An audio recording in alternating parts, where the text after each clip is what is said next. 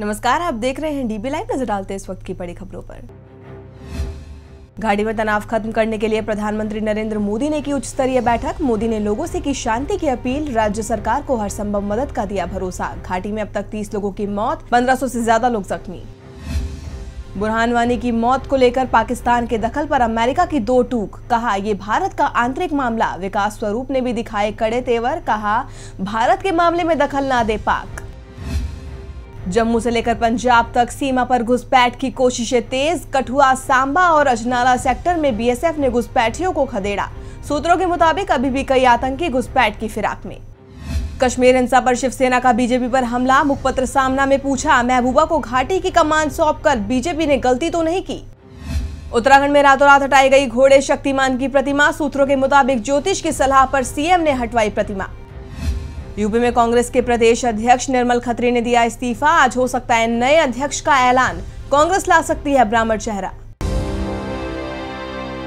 Bulletin की शुरुआत करते हैं जम्मू कश्मीर के साथ, जहाँ बुरहान वानी की मौत के बाद हालात तनावपूर्ण बने हुए हैं और अब इससे निपटने के लिए खुद प्रधानमंत्री नरेंद्र मोदी ने कमान संभाली है।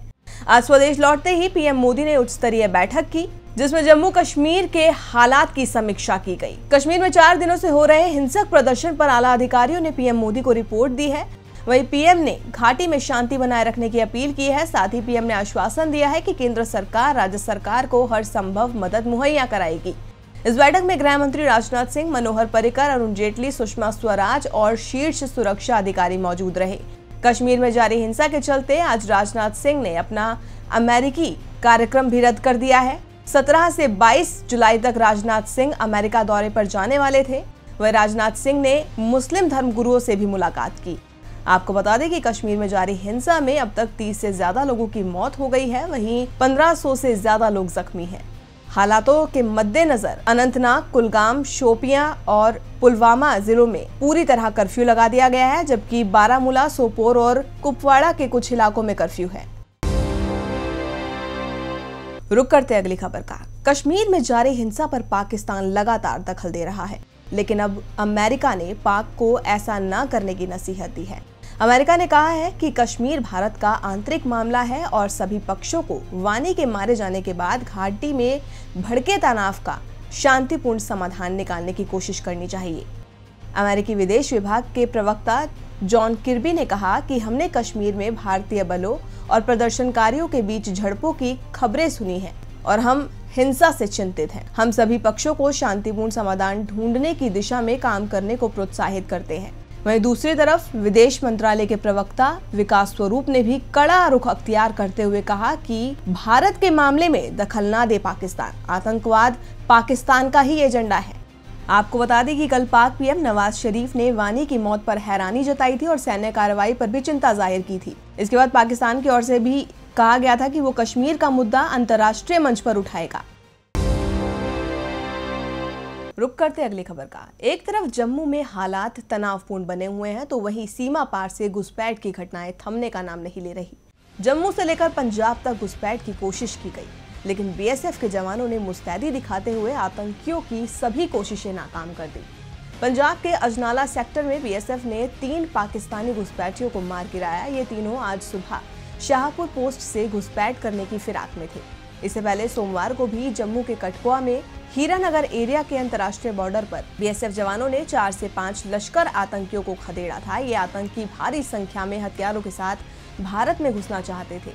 सूत्रों के मुताबिक, हर आतंकी के पास 30 से 40 किलोग्राम का बैग था, लेकिन बीएसएफ की मुस्तैदी की वजह से इन्हें वापस लौटना पड़ा। खुफिया सूत्र बताते हैं कि सीमा पार पाकिस्तानी एरिया में लॉन्चिंग पैड पर आतंकी मौजूद हैं। खुफिया रिपोर्ट की माने तो जो इंटरसेप्ट पर कॉल आ रहे हैं, वो भारत के लिए चिंताजनक है। चलते हैं अगली खबर पर। कश्मीर में जारी तनाव के बीच अब बीजेपी की सहयोगी पार्टी शिवसेना ने एक बार फिर हमला बोला है। शिवसेना ने अपने मुखपत्र सामना में लिखा है कि कश्मीर की वर्तमान स्थिति राष्ट्रीय सुरक्षा के लिए धोखादायक है। क्या महबूबा मुफ्ती के हाथों में कश्मीर घाटी की कमान देकर बीजेपी ने गलती तो नहीं की? सामना में लिखा है कि मौजूदा हालात देखकर लग रहा है कि कश्मीर का सवाल पहले की तुलना में और ज़्यादा उलझ गया है। महबूबा मुफ्ती ऊपर ऊपर से शांति का आह्वान कर रही हैं, फिर भी बुरहान वानी के बारे में उनकी निश्चित भूमिका क्या है, यह जानना ज़रूरी है। साथ ही सामना में ये भी लिखा है कि कश्मीर में जो आग लगी है, इसकी आँच देश को लग रही है। इधर अयोध्या में राम मंदिर निर्माण बनवाने की घोषणा हुई, उसके पहले कश्मीर की अमरनाथ यात्रा शांति से संपन्न हो जाए, जो चल रहा है, वह भयंकर है। तो सामना में बीजेपी पर जमकर प्रहार किया गया है। और अब खबर उत्तराखंड की, जहाँ मृत घोड़े शक्तिमान की प्रतिमा को लेकर एक बार फिर सियासत शुरू हो गई है। देहरादून के रिस्पना चौक पर तीन दिन पहले शक्तिमान की प्रतिमा लगवाई गई और अब रातों रात उसे हटा लिया गया है। ऐसा क्यों हुआ, ये किसी को समझ में नहीं आ रहा, लेकिन इसके पीछे जो बात सामने आ रही है, वो वाकई हैरान करने वाली है।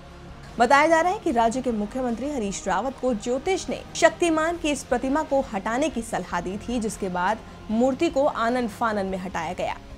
आपको बता दें कि राज्य के मुख्य विपक्षी दल बीजेपी ने भी सीएम पर राजनीति करने का आरोप लगाया था। इससे पहले रावत सरकार ने देहरादून विधानसभा के पास रिस्पना चौक का नाम घोड़े शक्तिमान को समर्पित करते हुए शक्तिमान चौक कर दिया था।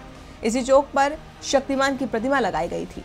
आपको बता दें कि 14 मार्च को विधानसभा के सामने बीजेपी के प्रदर्शन के दौरान उत्तराखंड पुलिस के घोड़े शक्तिमान का पैर टूट गया था और 20 अप्रैल को उसकी मौत हो गई थी। बीजेपी विधायक गणेश जोशी पर घोड़े की टांग तोड़ने का आरोप लगा था और 18 मार्च को इस आरोप में जोशी को गिरफ़्तार भी किया गया था।